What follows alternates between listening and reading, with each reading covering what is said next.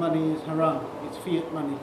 But I wanted to ask you, at what point did it become haram? Was it when it was removed from the gold standard? And if so, what year was that? The second question I have... Wait, one at a time. The question is, when did money become haram? At one point in time. And the answer is that to understand the process, you have to first understand a new actor on the stage of the world emerged out of nowhere and takes control of the world. Modern Western civilization. And this civilization, thank Allah, is about to be destroyed in the new war, in the world war that's coming now. Read Surah Al-Rahman and you'll get the guidance in Surah Al-Rahman. And this civilization has within it Gog and Magog, Ya'juj and Ma'juj. And they are the ones who commit fasad. Fasad is that which corrupts and destroys. Inna Ya'juj wa Ma'juj mufsiduna fil ard. There are those, and there are many, who believe that Gog and Magog will only be released at that time when Nabi Isa alayhi salam returns. And they are going to have the surprise of their life in the grave for their betrayal and their disrespect for the Quran. So let them remain with their views, they don't want to change. Good. Gog and Magog are in modern Western civilization. And they have this capacity to commit fasad, to corrupt and destroy. And one of the things, one of the most important things of all that they corrupted was money. Money. The first stage of the process was the colonization. They colonized India, for example. And when they colonized India, they found India using gold and silver coins. And the ulama of India supported and defended the dinar and dirham. But nobody remembers that now, of course. And then, while the British were ruling over India, they then introduced the paper money. And they were insisting that the paper money is redeemable in gold and therefore it's halal.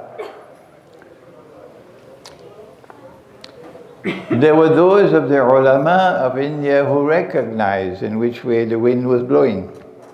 They were men of insight. And they were also men of backbone. And that's what the fast of Ramadan is supposed to do. It's supposed to give you insight and it's supposed to give you backbone. So if the day of Eid comes and you still are the same as you were at the beginning, no insight and no backbone, only recycled paper, your fasting has not delivered anything. Hmm? When they brought in the paper money, some of the ulama of India stood up courageously and denounced it and insisted you have to remain with dinar, which is in the Quran, and dirham, which is in the Quran. But there were prominent ulama, and I don't want to mention any name, I don't want to, to embarrass anyone. There were prominent ulama who supported the paper money, even wrote books to support the paper money. Yeah. The paper money was codified in a system in 1944.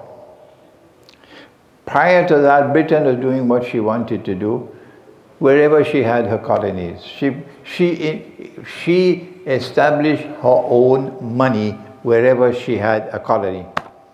And the money was supposed to help her to become richer.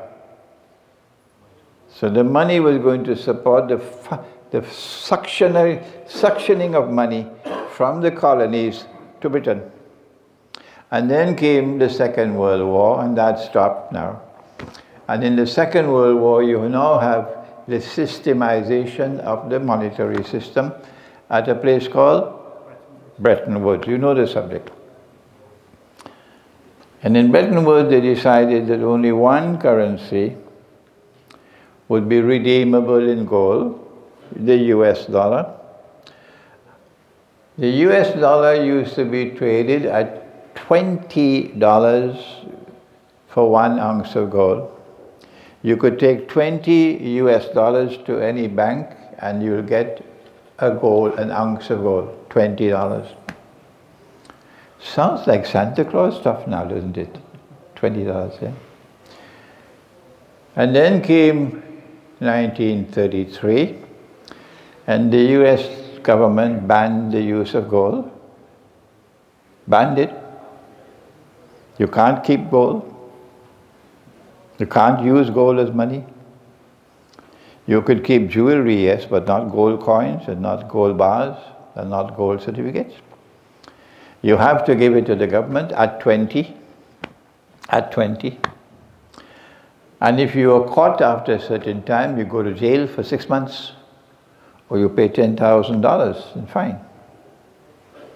And after the American people had sold all their gold or transferred all their gold for paper at 20, then the US government removed the ban but changed the value of the paper.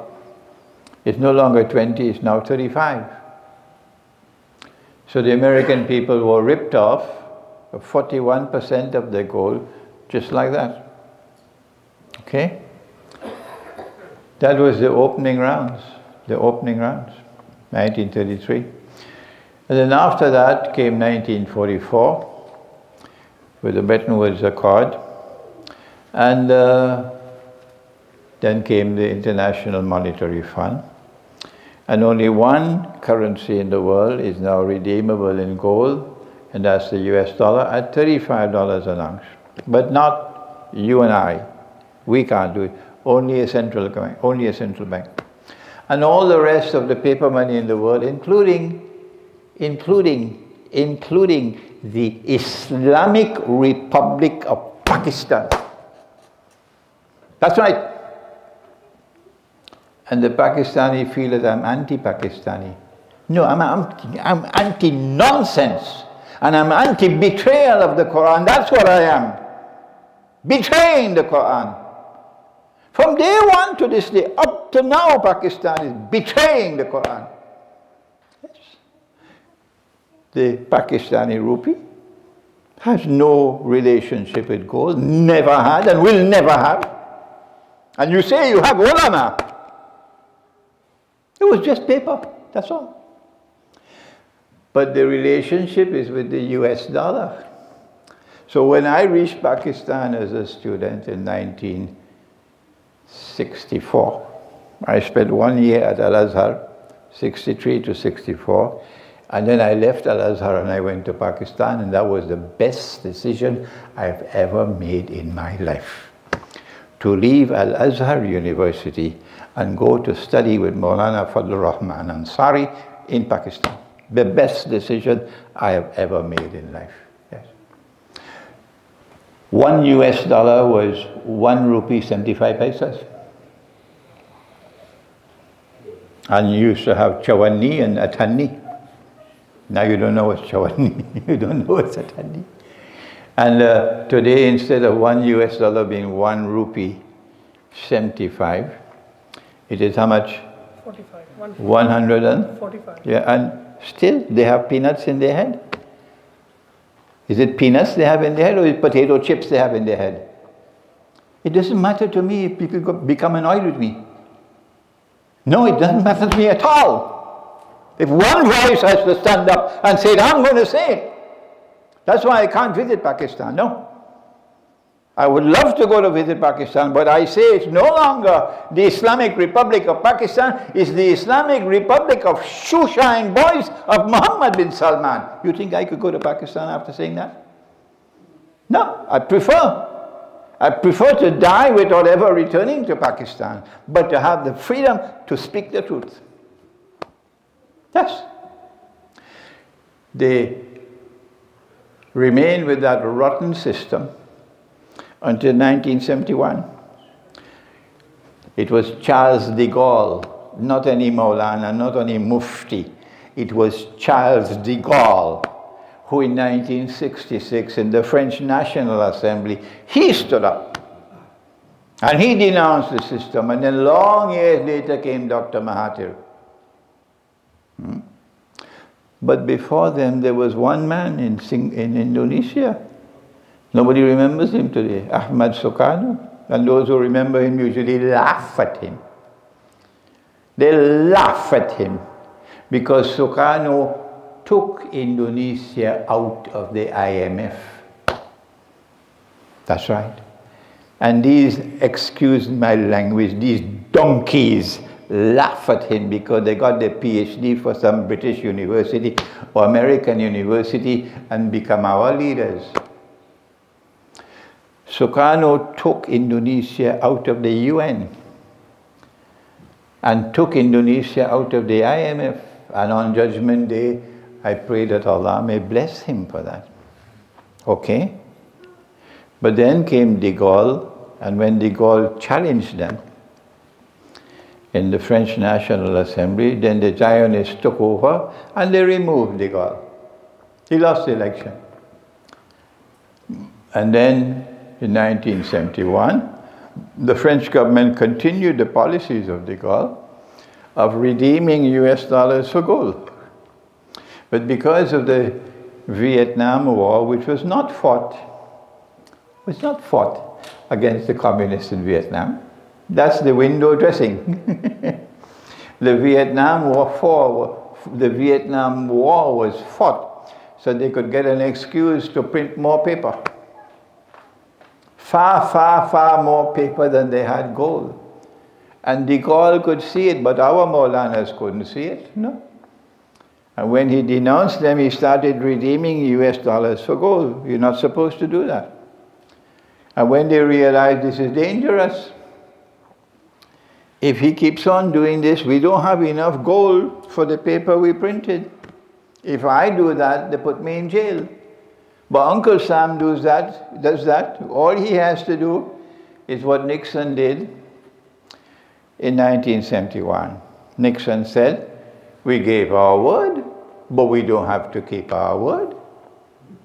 We gave our word under international law that in this monetary system which we have established, the United States government commits itself to redeem US dollars for gold at the rate of $35 for one ounce of gold. We gave that promise, but we don't have to keep it. That's the great United States of America. Yes. And since 1971, the US dollar went into no man's land. It started dropping from 35 to 40. And then in 1973, they were able to solve the problem with the Arab-Israeli war.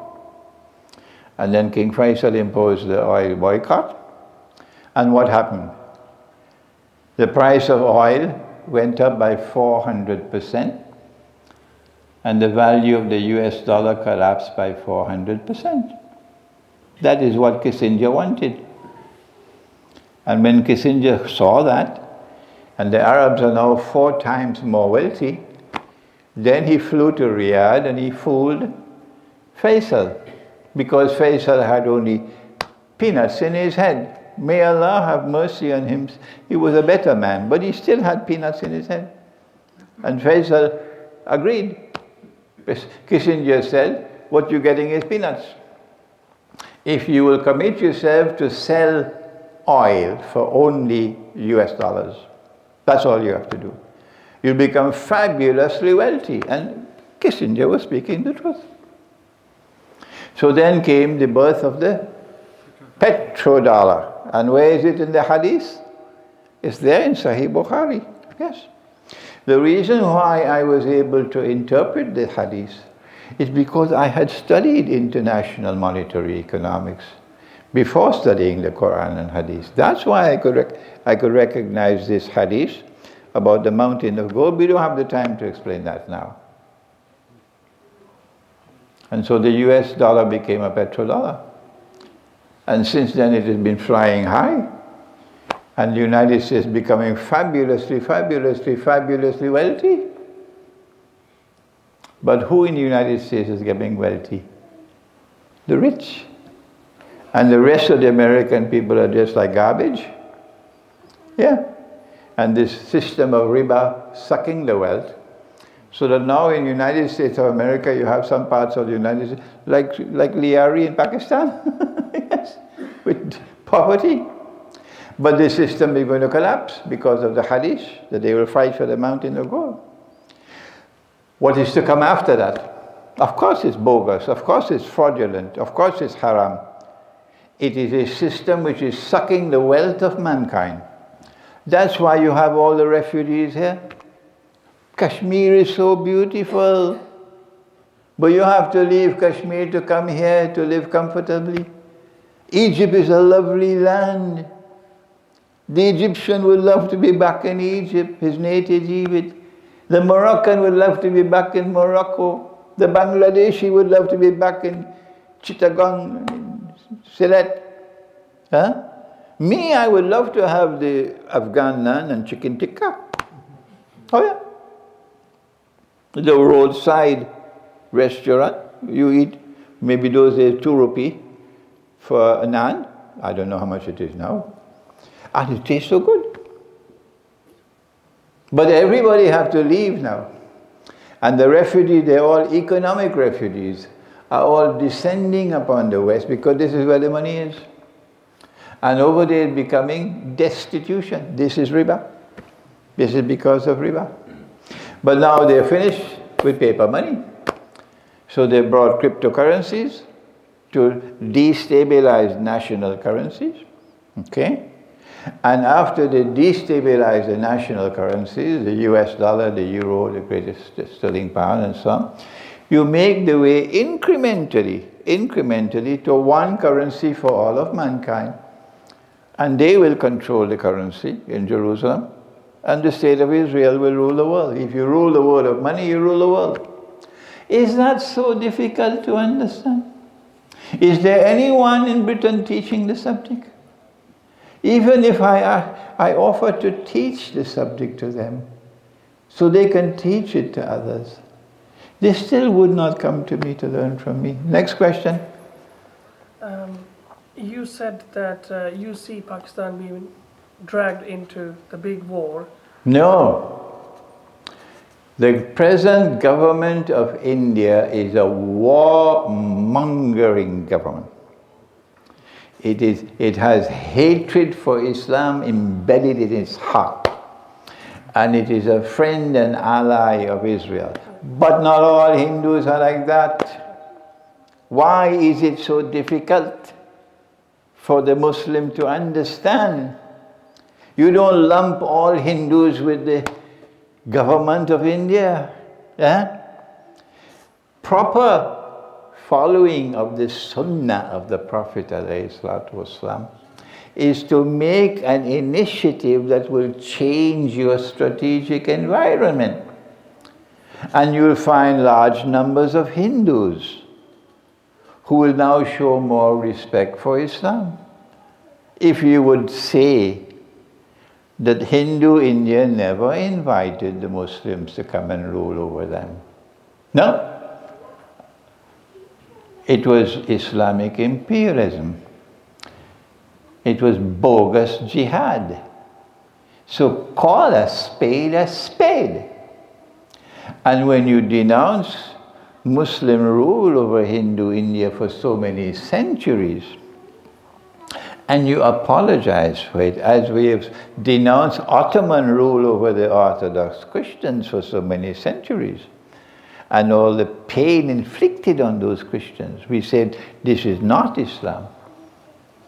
And we say, when we conquer Constantinople, we're going to return Hagia Sophia to you. Now look at the Orthodox Christian world.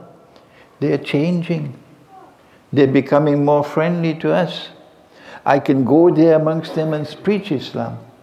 If you do the same thing with Hindu India, then you, I don't know, they don't have, they have only peanuts in their head. That they cannot understand proper strategy. Proper strategy is to follow the Sunnah. To show Islam as a peace-loving religion. We don't want war. Yes. And if you do that, then there'll be large numbers of Hindus who will oppose their government. So actually, it is a warmongering Hindu government in India which is lusting for war in Pakistan. That's right. Go ahead. So, so my question was, do you see any other army, being Muslim army, trying to gather with Orthodox Christians such as Russians fighting in the big world war? The question is, do you see Pakistan shaking hands with Russia and fighting in the big world war? The leadership of Russia has something called insight that Islamabad doesn't have. There are Christians in Russia today who have insight. They're conducting the best foreign policy in the whole world today, Russia. Okay? And America is looking like garbage compared to Russia. When Russia sees Pakistan sitting on the fence, it hurt Saudi Arabia, would hurt Iran, sitting on the fence. And you lay out the red carpet for Mohammed bin Salman just to get money. Russia would know I cannot trust such a people. Russia will trust Ayatollah Khamenei. When Putin went to Iran, he didn't bother with Rouhani. He went to Ayatollah Khamenei and he remained with him for hours. Ayatollah Khamenei controls the Iranian armed forces. This is a man I can trust. When Russia returned to Christianity, the, the Chinese looked at Russia and said, now we can trust them. They couldn't trust the Soviet Union. So when India attacks Pakistan, it's only a matter of time. There is no way that Pakistan can win that war. You can fire off a few nuclear weapons and so on, kill a few million people and so on, but at the end of the day, Pakistan cannot win that war unless China intervenes to help Pakistan. This is why Pakistan has had this relationship with China for 50, 60 years now. Will China intervene militarily? Huh? You've not studied. You've not done your homework. The only way that China will intervene to assist Pakistan if India attacks is if Russia also intervenes. Then China will intervene. Will Russia intervene? You're living in dreamland if you believe that Russia will intervene. Uh, Pakistan has made a mess of their foreign policy. Mess. Because they've lost Russia. They've lost Russian trust with their foreign policy. That's it. Next question. Sheikh, um, forgive my ignorance on this subject. My question is on China. Um, I wanted to know, you praise Russia's alliance with China. What's your view, what's your take on the persecution of the Uyghurs Muslims in China? I will only make a comment when I have knowledge. And when it comes to the jihad in the Caucasus, the Chechnya, and the jihad in uh, the Uyghurs and so on in China, the information only comes to me from the CIA. And the only time the CIA has ever spoken the truth, you know, the CIA spoke the truth once, only once. They said it was Mohammed bin Salman. He's the one who ordered the killing of Adnan Khashoggi. This is the one time the CIA spoke the truth. So I will have to get credible information for me to comment. Any more questions? You already had one question, yeah? I'm 77 and my hearing is not good. Sorry, I'll stand up. Yes. Uh, is this Dajjal going to be a, um, from the human race? Because Okay. we have different opinion in the scholars. Okay, there's a book coming. It's already written, it's already published in Pakistan, um, in Malaysia, printed. It'll be here shortly. Uh, Dajjal, sorry, the Quran, Dajjal, and the Jasad, which is the answer to your question. But you can go to my website, imranhosein.org, and download the book, and you'll get the answer. Yes. Sorry. Your first question? Yes. Sure, okay. I just talking about uh, riba earlier. I am quite familiar with your views on uh, riba. Good. However, living in the non-Muslim society, I wanted to see the permissibility factor, if there is one, uh, for using riba, using riba for buying the house, for example, or mortgage. Okay. The question is, um, if we are living in a non-Muslim country, uh, can we can we have any leeway to buy a house even with riba? The answer is it makes no difference whether you're living in India and Pakistan or you're living in Britain. Huh? Makes no difference. Same amount of riba out there, same amount of riba over here. Okay? Except that over there it's a little bit more dangerous than here. Because over here you have a curious thing called the Islamic bank. And the Islamic bank is worse than the commercial bank. Because the Islamic bank is giving you riba through the back door. Whereas the commercial bank is giving you riba through the front door. Okay? If you do not understand what I'm talking about, go to my website and read, read my essays on the subject. Uh, one second.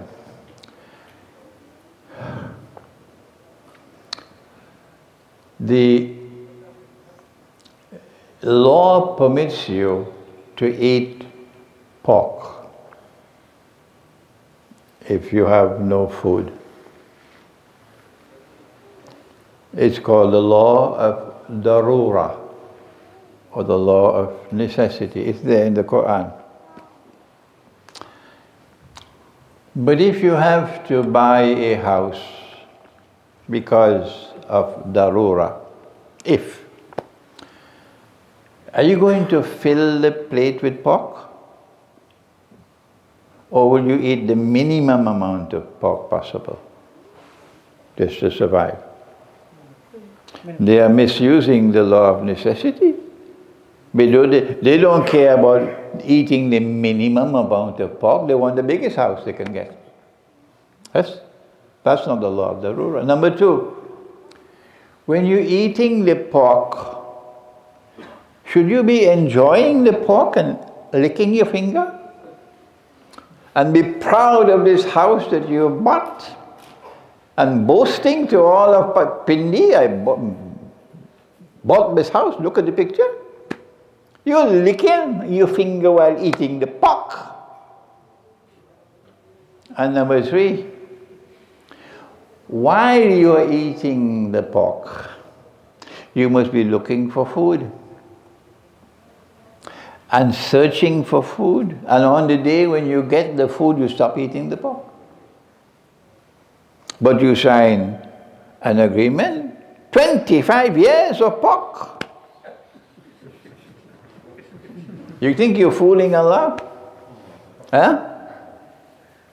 Number four, is it possible to rent a place and pay your landlord's riba for him? Hmm? Yes, this is indirect riba. You're, playing, you're paying your landlord's riba for him. But when you borrow the money on interest and you sign, you are directly in riba. So in a choice between the two evils, which one is the lesser evil?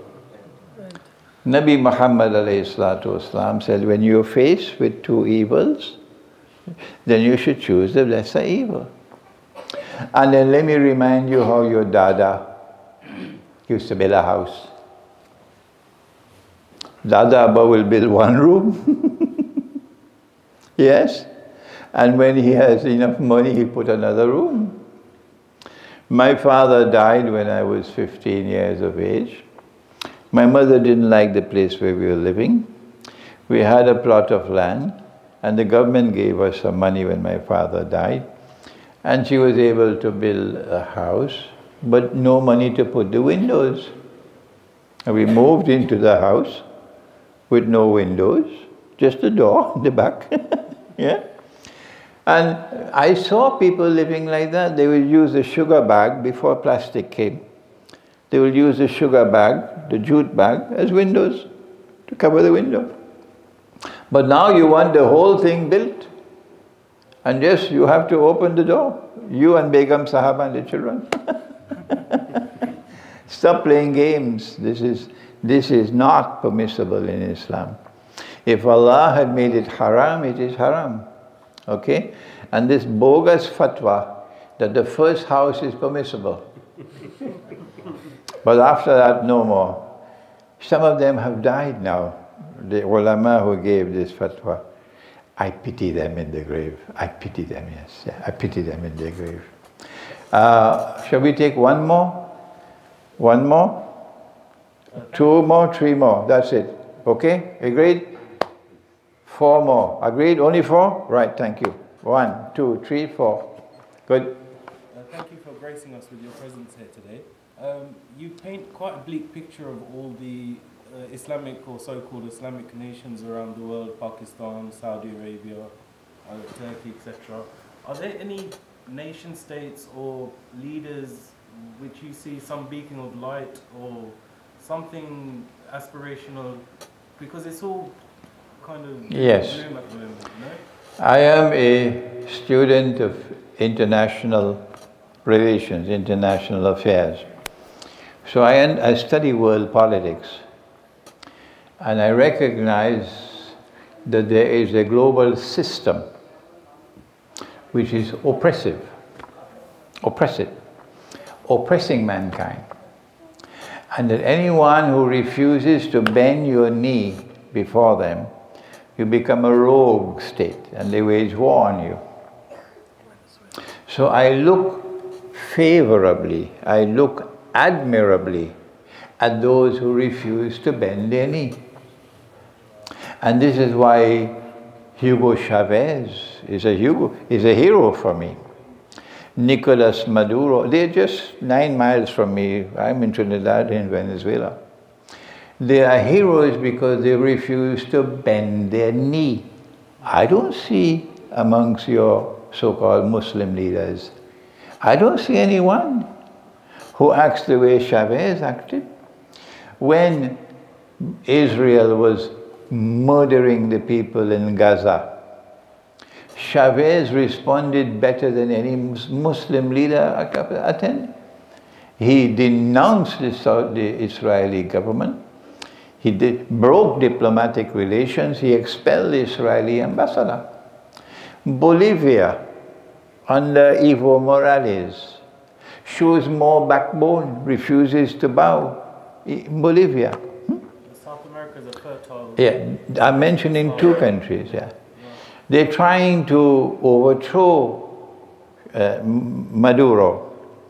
Look at Mexico. Mexico is standing firm. Yes. Uh, the governments of the Caribbean, I, I was proud to see the governments of the Caribbean, including my own Trinidad and Tobago, standing up to the United States. That's why the United States could not intervene militarily in Venezuela so far. Now look, when we look to the world of Islam, who do we see who refuse to bend their knee? With all the mistakes that Muammar Gaddafi made, as much a clown as he was, the reason why they removed him was because he refused to bend his knee. With all the bad things that Saddam Hussein did, and he did so many bad things that when I met Sheikh Abdul Hamid Kishk, the blind sheikh in Egypt, Abdul Hamid Kishk said to me about Saddam, he said, Shaitanul Akbar. but the reason why they removed Saddam Hussein was because in the end of his life he refused to bend his knee.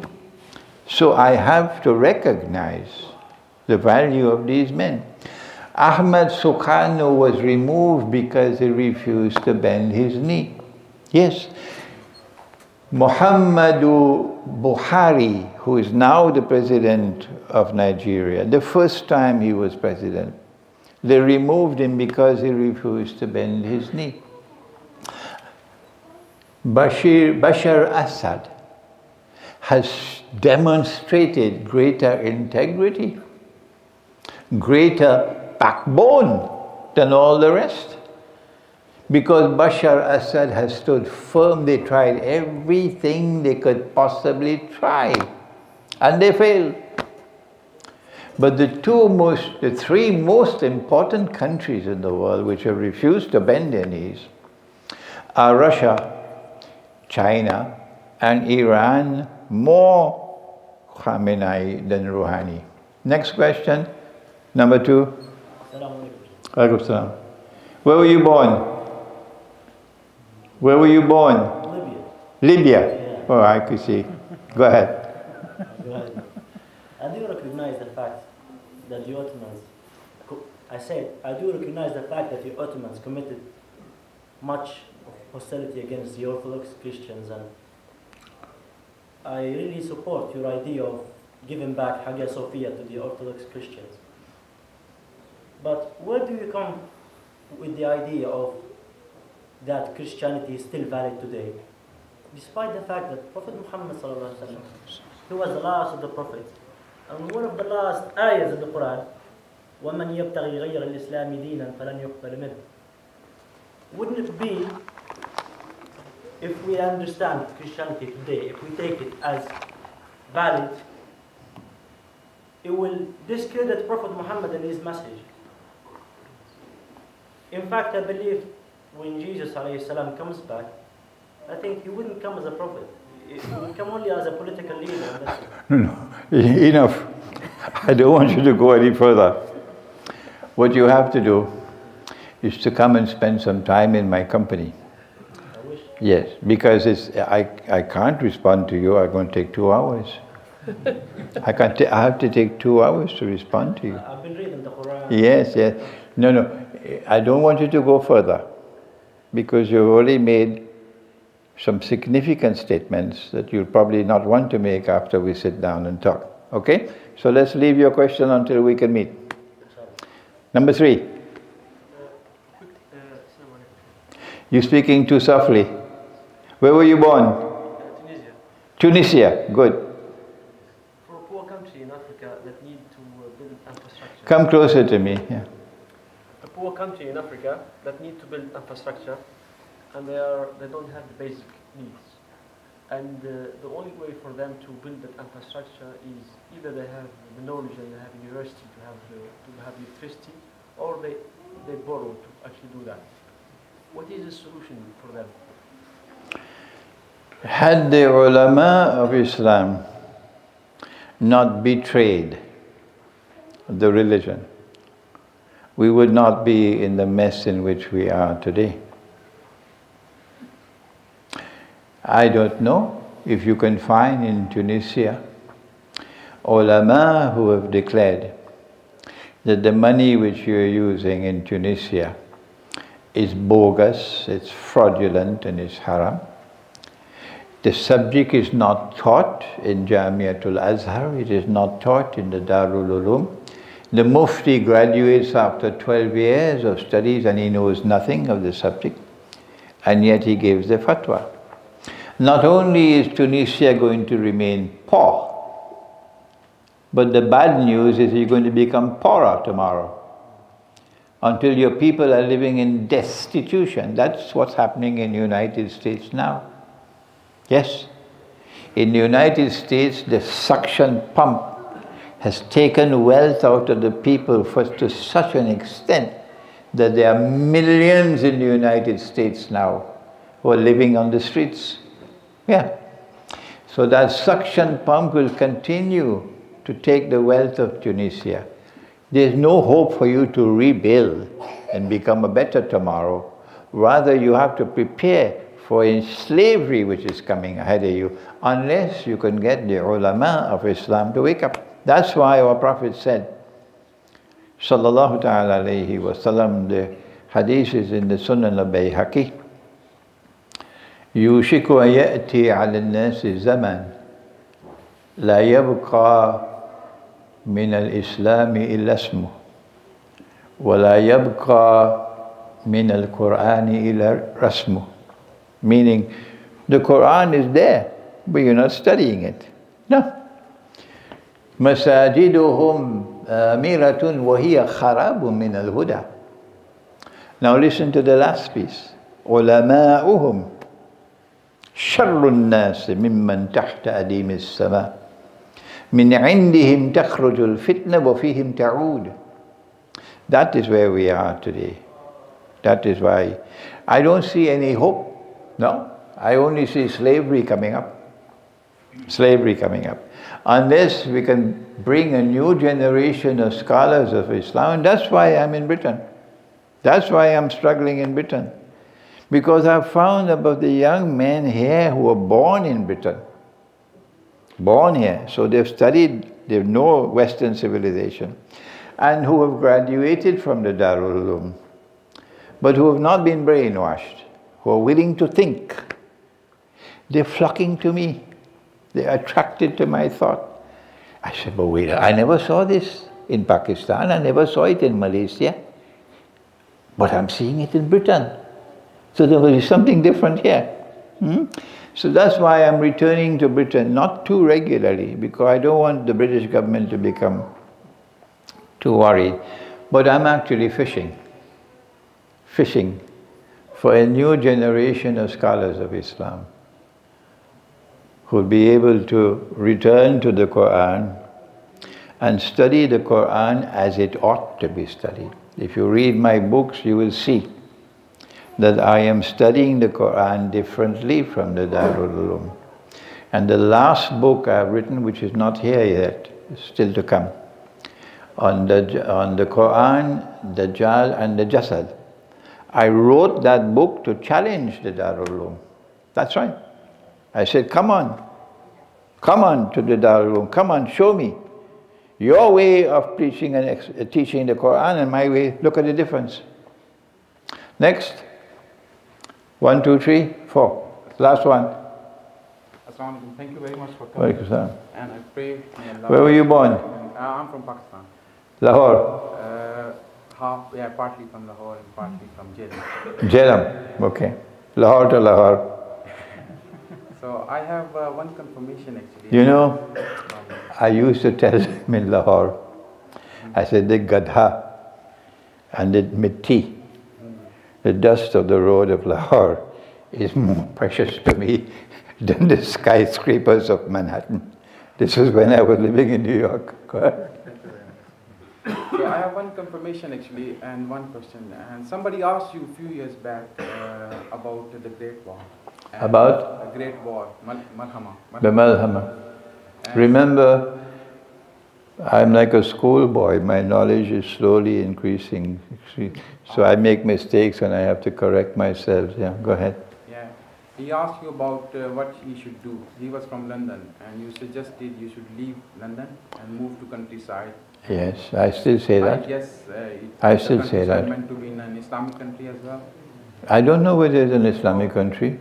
Okay. I don't know. so I think you, you meant to. Yeah, go, yes. The, when the Great War takes place, it's going to be nuclear war. Even if a nuclear bomb does not fall on London, the lines of supply for electricity, for water, for food will all be disrupted.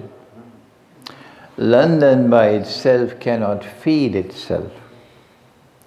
When you no longer have electricity, you no longer have water, you no longer have food, you're going to have anarchy. People are going to become like animals. From the time there is a suspicion that you have food in your house, suspicion, eh? or you have water in your house, they'll come and break down. There'll be no police to help you. Break down your door. And if you show resistance, they'll kill you because they're searching for food and water. Will you keep your wife and children in such a situation?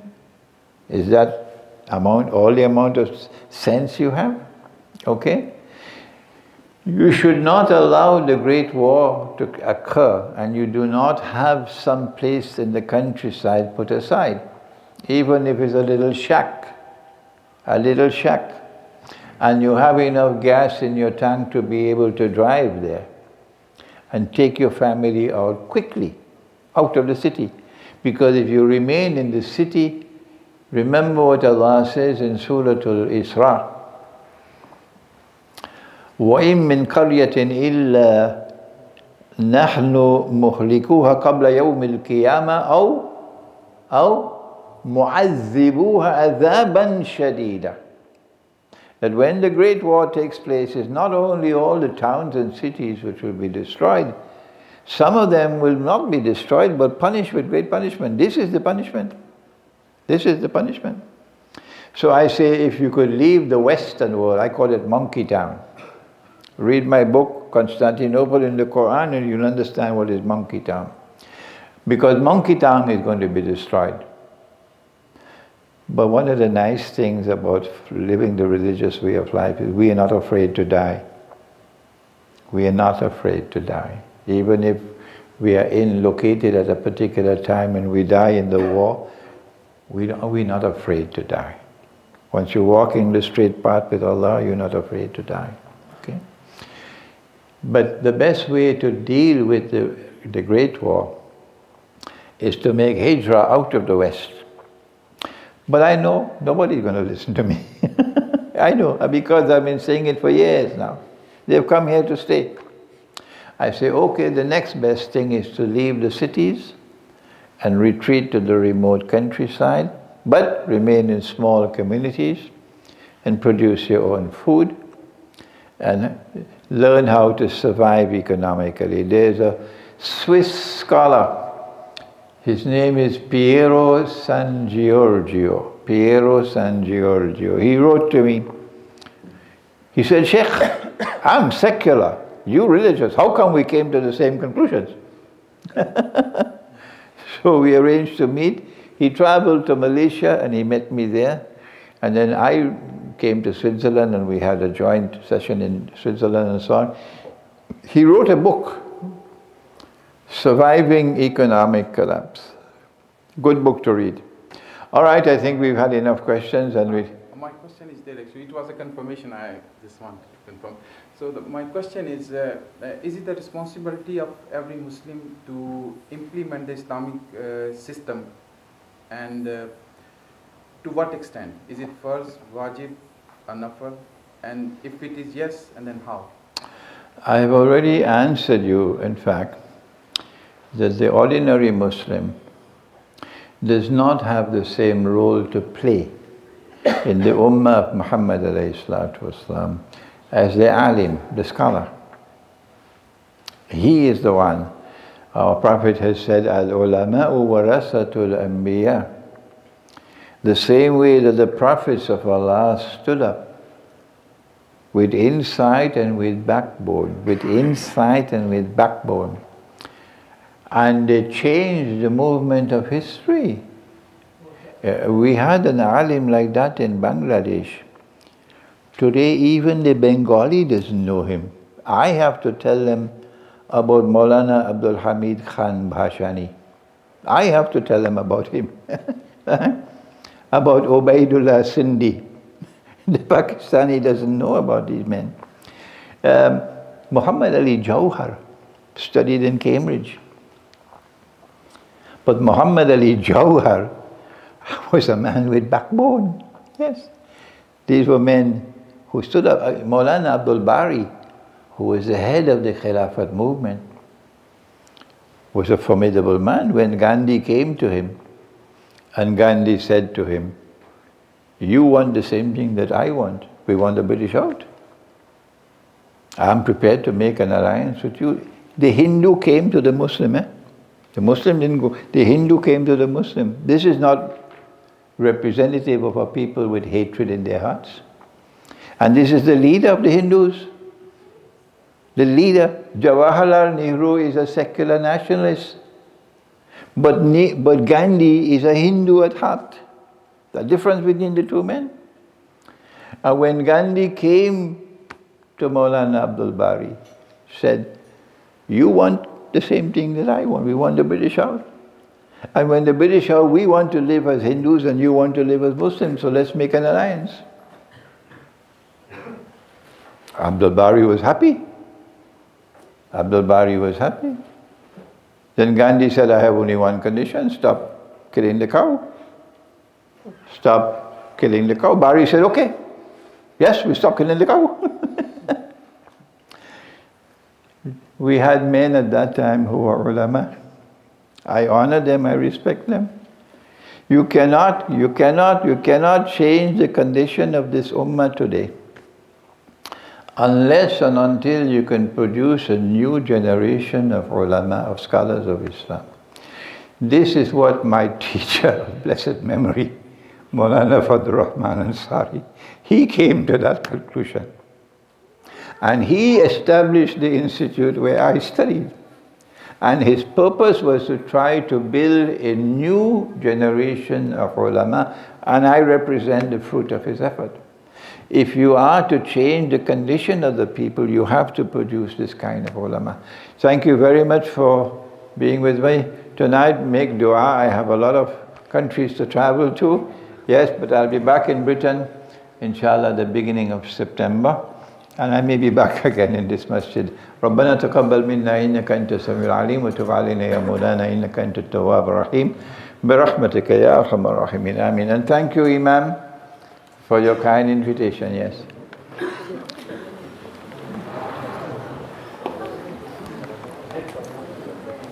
Yeah. Okay. Mhm.